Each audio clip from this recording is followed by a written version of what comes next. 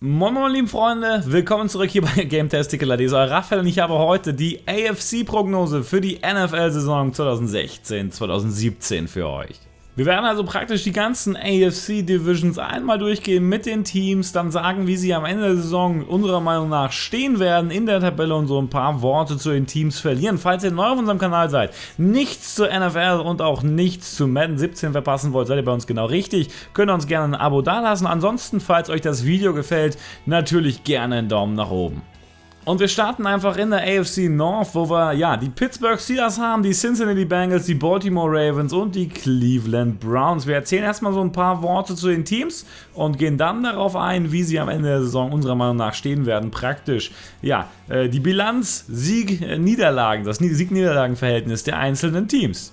Bei den Browns natürlich Josh Gordon ab Spieltag 5 wieder da. Da wird sich dann auf jeden Fall zeigen, was er leisten kann. Wenn er die alte Leistung wieder abrufen kann, ist das eine mega Verstärkung für die Offensive der Cleveland Browns. Genauso wie äh, Coleman, der Pick der Browns, auch Wide Receiver aus der ersten Runde im diesjährigen Draft. Auch er scheint gut liefern zu können. Muss ich da natürlich zeigen, was er in der Regular Season bringen kann. Ist natürlich nochmal eine andere Nummer als die Preseason. Ja, der Titan Barnage könnte hier so ein bisschen das Zünglein an der Waage in der Offense werden. Äh, von ihm auf jeden Fall auch viel abhängig, ob da noch ein weiterer guter Receiver dann äh, für den Quarterback Robert Griffin hinzukommt oder ob er sich dann eben auf die beiden Wide Receiver konzentrieren muss. Auf jeden Fall eine extrem interessante Sache. Sie haben einen klaren Starting Quarterback in diesem Jahr mit Robert Griffin, neuen Head Coach. Ja, das Hickhack und Menziel ist endlich vorbei. Das heißt, sie haben da jetzt ein bisschen Glück, konnten ein bisschen Ruhe ins Franchise bringen. Auf jeden Fall eine ganz, ganz wichtige Sache. Ja, die Defense ist die große Schwachstelle. Einzig Joe Hayden ist hier natürlich jemand, der heraussticht und der hier auch für ein bisschen Leistung äh, sorgen kann. Ansonsten die Defensive der Cleveland Browns leider relativ schwach. Und ja, Strength, Strength of Schedule ist relativ ähm, mittelmäßig, muss man sagen. Also die Stärke äh, des Spielplans praktisch. Wie schwer sind die Gegner in diesem Jahr? Weil man spielt ja nicht immer gegen jeden. Ähm, eher mittelmäßig, das heißt, die Gegner sind ganz okay, aber es ist sicherlich nicht das härteste Schedule der NFL. Ähm, und deswegen muss man einfach schauen, was das am Ende dann für das Sieg-Niederlagen-Verhältnis sei. Unsere Prognose kriegt ihr dann gleich am Ende der Division.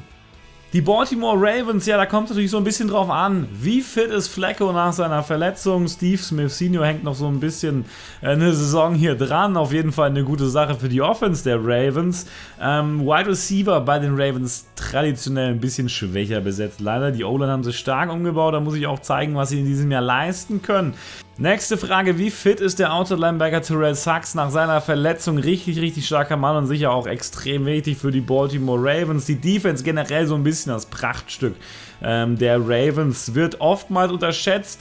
Ja, aber zu Unrecht richtig, richtig starke Defense. Ein vermeintlich leichter Start auf die Ravens gegen die Bills und gegen die Browns. Danach haben sie die Jaguars und die Raiders. Da wird es das erste Mal ein bisschen interessant werden. Ähm, denn die beiden Teams sind natürlich auch mit die interessantesten der NFL in diesem Jahr.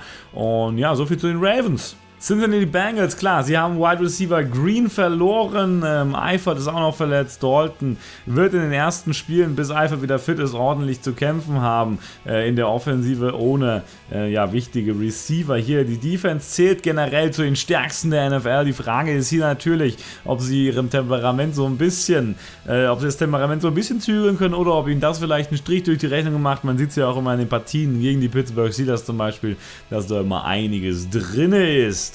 Die ersten drei Spiele der Bengals auch extrem hart. Die könnten sie ohne Tyler Eifert wohl verlieren. So ist zumindest unsere Einschätzung. Danach haben wir allerdings ein paar machbare Aufgaben, weshalb man hier bei den Bengals durchaus mit den Playoff-Plätzen rechnen kann.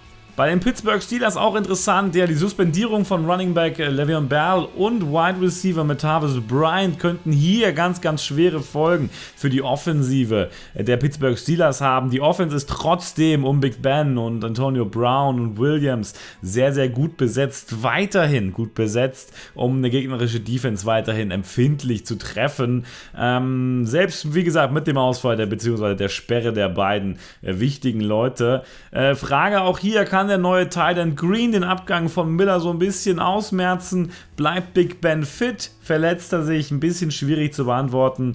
Ähm, Und die Defense hängt natürlich dem Steel der vergangenen Jahre weit, weit hinterher, hat aber richtig Potenzial in diesem Jahr da wieder ein bisschen näher ranzukommen.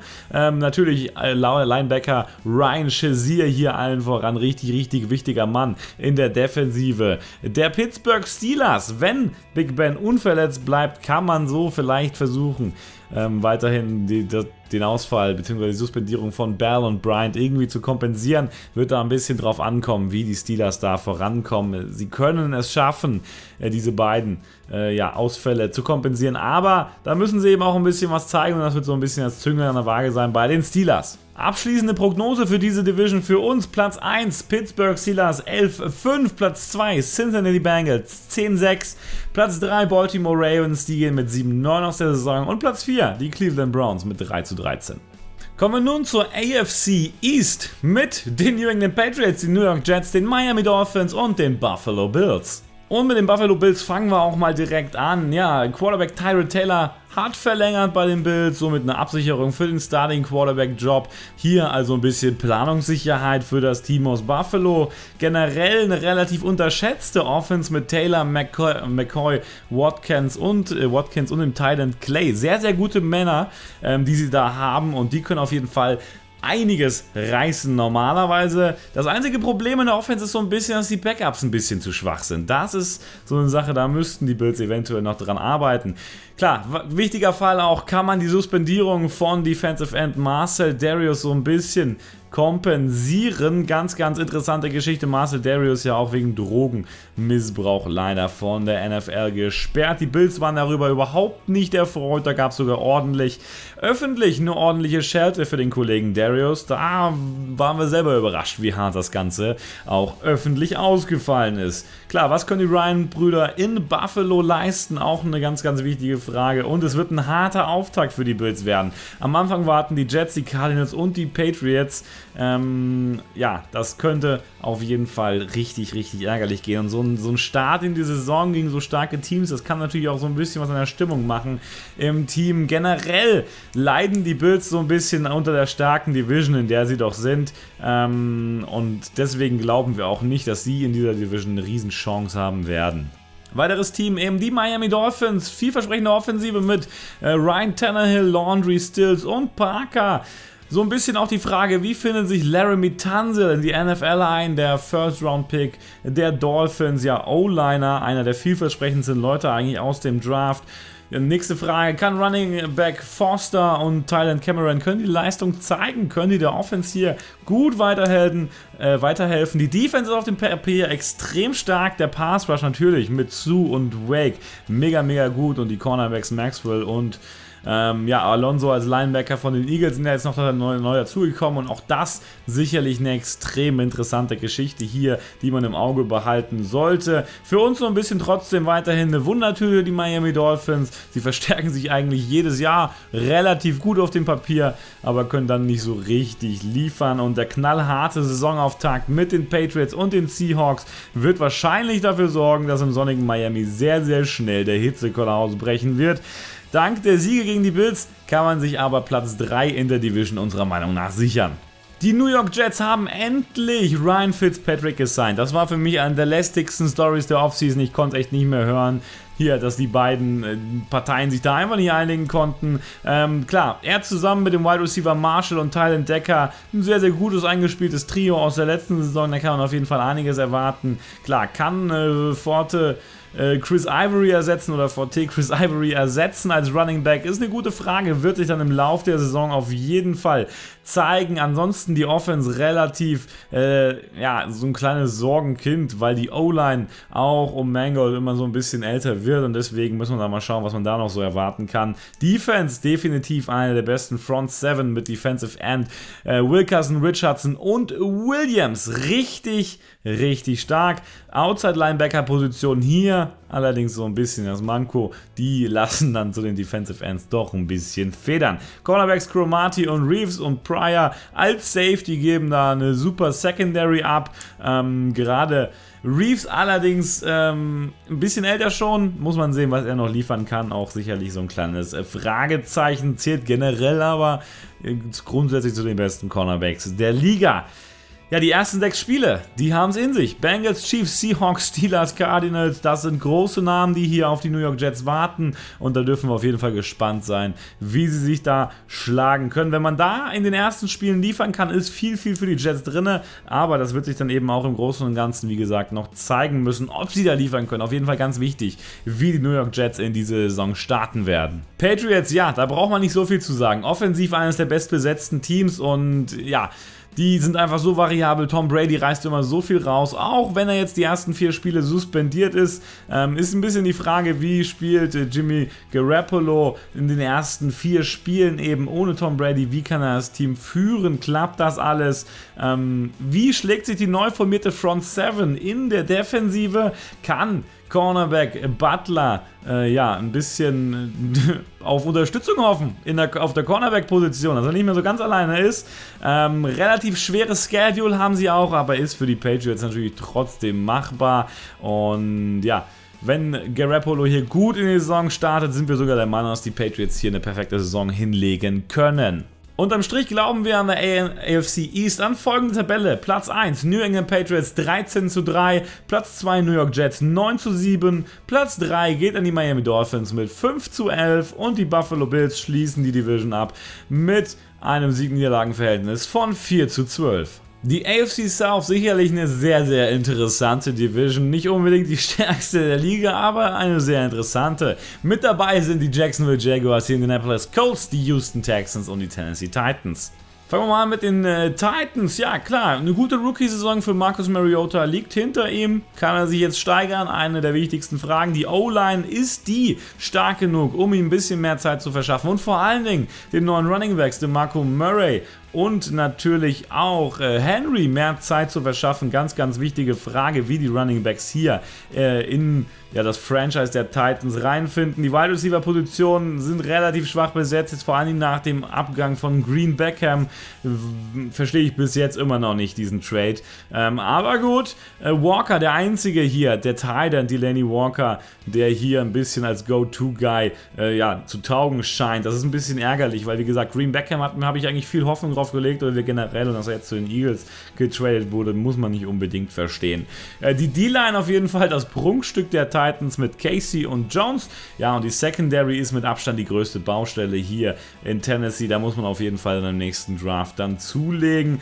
Der Spielplan ist allerdings vermeintlich relativ leicht, äh, sodass die Titans durchaus überraschen könnten. Allerdings sehen wir die Division-Rivalen hier generell alle ein bisschen stärker als das Team aus Tennessee. Bei den Texans hat man natürlich Brock Osweiler verpflichtet in der Offseason von den Denver Broncos, beziehungsweise als Free Agent dann. Ähm, ist er jetzt endlich der Franchise-Quarterback, der so dringend gesucht wurde in Houston? Ist die große Frage. Kann der Running Back Lamar Miller auch überzeugen, der von den Dolphins kam? Wir haben ein gutes Wide Receiver-Duo mit Hopkins und dem Rookie Fuller. Die O-Line ist noch so eine Schwachstelle auf jeden Fall. Da wird Osweiler nicht so viel Zeit haben und Miller wohl auch nicht den großen Raum bekommen. Drittbeste Defense der letzten Saison um Defensive Tackle Vince Wilfork, Defensive End JJ Watt, großer Star des Teams, Outside Linebacker Jadavius äh, Clowney ähm, und ja, McKillos Linebacker auch noch ein richtig guter Mann, den man hier vielleicht erwähnen sollte. Die Secondary leider die große Schwachstelle der Defense äh, der Houston Texans.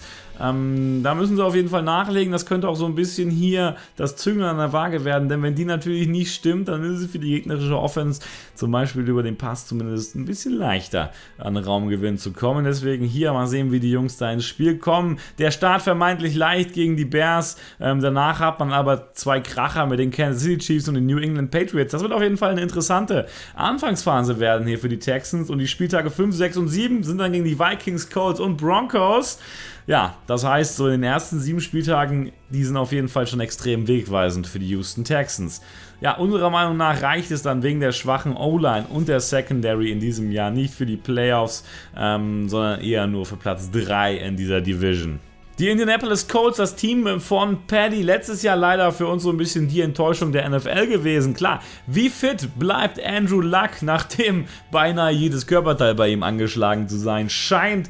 Die vier Draftpicks wurden für die vier Draftpicks wurden insgesamt für die O-Line verwendet, um Luck besser schützen zu können. Das ist die Frage, was die Rookies da in ihrer ersten Saison denn leisten können. Running Back Gore, 32 Jahre alt, kann er von der neuen O-Line profitieren? Sie haben mit Moncrief Hilton und Set eines der schnellsten Wide Receiver Trios der Liga. Auf jeden Fall hier eine Waffe. Tylen Fleener wurde zugunsten von Tylen Allen hier abgegeben. Da muss ich zeigen, ob das eine schlaue Idee war oder eher nicht. Sie haben einen neuen äh, Defensive Coordinator. Die Defensive ist allerdings unserer Meinung nach nicht so richtig adäquat besetzt. Linebacker Jackson sowie Cornerback Davis und Neuverpflichtung Chromati könnten hier allerdings die Secondary doch so ein bisschen äh, stärken. Da sind wir gespannt, wie das dann am Ende aussehen wird. Die D-Line könnte hier so ein bisschen Schlüssel zum Erfolg sein, ähm, wenn es ihnen in der Saison gewinnt, hier die wichtigsten äh, Third Downs zu erzwingen oder am besten dann natürlich äh, zu stoppen.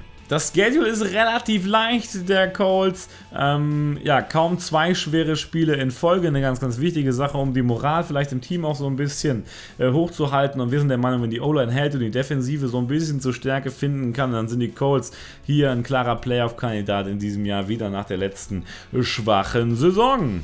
Und als letztes Team, das interessanteste Team, für mich das interessanteste Team der NFL in diesem Jahr, die Jacksonville Jaguars. Ja, sie haben sich in der Offseason neben den Raiders mit Abstand am besten verstärkt. Ja, Quarterback Bortles, ein guter Mann, da haben sie einen soliden Spieler, der noch jung ist. Da haben sie zwei Weltklasse-Wide Receiver mit Robinson und Hearns, gepaart mit dem Odie Tight hier. Julius Thomas, damals von den Denver Broncos, richtig, richtig offensiv, brandgefährlich unserer Meinung nach. Running Back Ivory und Yeldon ist man hier auch, mit den beiden ist man auch fürs Laufspiel gut besetzt. Die einzige, ja, der einzige Schwachpunkt so ein bisschen die O-Line, auch hier wieder bei den Jaguars. Die Frage ist, wie viel Zeit kann man hier Blake Bortles geben. Ganz, ganz wichtig. Defensiv äh, das Hauptproblem des letzten Jahres, die Defensive war das Hauptproblem des letzten Jahres. Ähm, deswegen hat man natürlich hier auch versucht, ordentlich nachzulegen und das ist unserer Meinung nach eigentlich ganz gut gelungen. Erstmal kam ein neuer Defensive Coordinator, dann hat man Jackson geholt, man hat Free Safety Sean Gibson von den Browns geholt, man hat Prince Amukamara geholt von den Giants, die kamen als Free Agents, man hat Jalen Ramsey als Cornerback im Draft geholt, man hat Miles Jack als Linebacker geholt im Draft, das sind die Steals auch des diesjährigen Draft, das waren einfach ja, das waren Picks, die haben uns überzeugt, das waren Picks, die haben wirklich uns auch begeistert. Defensive End, Dante Fowler Jr., der vermeintlich beste Spieler aus dem letzten Jahr, war die Rookie-Saison verletzt, ist jetzt auch wieder mit im Team. Und deswegen können diese Spieler einfach einen riesen Impact auf die Defensive der Jacksonville Jaguars haben und deswegen eine riesen Wundertüte. Für uns ist für die Jaguars in diesem Jahr wirklich absolut alles drin. Auftakt gegen die Packers könnte schon so ein bisschen das erste ähm, wichtige Aufeinandertreffen werden. Wenn, wenn sie hier ein großes Ausrufezeichen setzen, die Jaguars, dann geht für sie generell einiges in diesem Jahr. Äh, wir freuen uns sehr, das Team spielen zu sehen, muss man einfach sagen. Wenn die Offense liefert, die O-Line hält, dann ist für sie wirklich alles drin. Und unserer Meinung nach sieht die AFC South am Ende der Saison folgendermaßen aus. Die Jaguars gehen an 1 durch diese Division mit 10 zu 6. Das ist richtig, richtig gut. Die Indianapolis Colts mit 9-7 an 2, die Houston Texans mit 7-9 an 3 und die Tennessee Titans schließen die Division mit 5 zu 11 ab.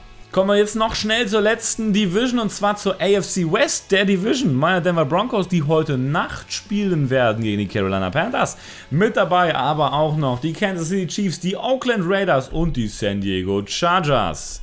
Fangen wir mal in den Chargers an. Ähm, Quarterback und zukünftiger Hall of Famer Rivers immer noch einer der besten Quarterbacks der Liga. Mittlerweile allerdings so ein bisschen im Spätherbst seiner Karriere. Was kann er zeigen? Sicherlich eine interessante Frage. Running Back Gordon hatte eine richtig grausame Rookie-Saison und muss dieses Jahr einfach zeigen, dass er ein verdienter First-Round-Pick war. Zwei gute Wide Receiver hat man mit Allen und Benjamin. Äh, Neuzugang von den Browns an dieser Stelle. Und mit Gates hat man auch einen ziemlich starken Tight End. Die O-Line letzte letztes Jahr vom Verletzungspech so ein bisschen verfolgt. Da muss man mal sehen, ob sie dieses Jahr halten kann, ob sie äh, Charters, die, ob sie die Rivers die nötige Zeit gibt. Hier einfach O-Line bei vielen Teams wirklich eine Schwachstelle. Abgang von Eric Weddle, der wird in der Defensive absolut nicht zu kompensieren sein. Da haben sich einfach auch dumm verhalten, die Chargers hier gegenüber Eric Weddle, meiner Meinung nach. Aber die Chargers sowieso nicht unbedingt das Team meiner Sympathie. Ähm, ja, Bosa hat endlich unterschrieben, nachdem es da einen riesen Hicker gab in der Offseason um äh, den First-Round-Pick der Chargers. Hat er jetzt unterschrieben und wird nun mit äh, Leo Gett und ja, Bane oder Mibane richtig auflaufen können. Da haben sie auch gute Spieler hier in der Front 7, muss man auch sehen. Äh, ab wann wird Bowser spielen? Hat er viel vom Training verpasst? So ein bisschen die Frage, wie schlägt er ein? Also da auf jeden Fall noch so ein kleines Fragezeichen drüber. Ähm, Linebacker Ingram und die Cornerbacks Flowers und Verrett verleihen auf jeden Fall der Secondary so eine gewisse Würze. Relativ gute Jungs und die müssen auf jeden Fall da hinten ihren Job auch gut erledigen, um die Chargers hier irgendwie in der Saison halten zu können. Das Problem sind eigentlich die anderen Teams in der Division. Mit Abstand die AFC West, eine der schwersten Divisions der NFL. Da braucht man überhaupt nicht drüber reden. Sie haben ein relativ leichtes Schedule, aber sie müssen trotzdem gegen die Raiders ran, trotzdem gegen die Broncos, trotzdem gegen die Chiefs. Jeweils zweimal. Das sind eigentlich sechs Niederlagen, die man buchen kann im schlechtesten Fall. Äh, und das ist natürlich schon mal bitter. Die Oakland Raiders mit den Jaguars zusammen eben mit Abstand die besten Verpflichtungen in der Offseason gemacht. Derek Carr zeigt selbst nach zwei Jahren schon, was er einfach ein richtig, richtig, was er für ein richtig, richtig guter Quarterback ist. Er kann mal ein richtig großer werden, wenn er so weitermacht.